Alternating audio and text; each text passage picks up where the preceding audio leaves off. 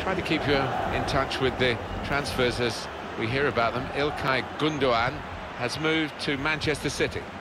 Well, it's a fairly big transfer figure, 40 million pounds or thereabouts, and uh, I think this lad won't be affected by it, though. He'll uh, be able to concentrate on his... Possibly, a booking this. The referee has shown the player a yellow card. Yeah, and that player's just got to be careful now.